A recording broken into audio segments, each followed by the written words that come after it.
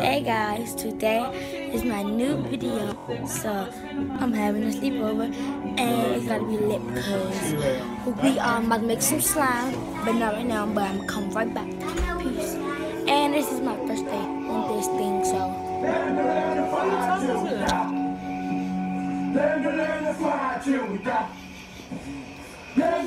so.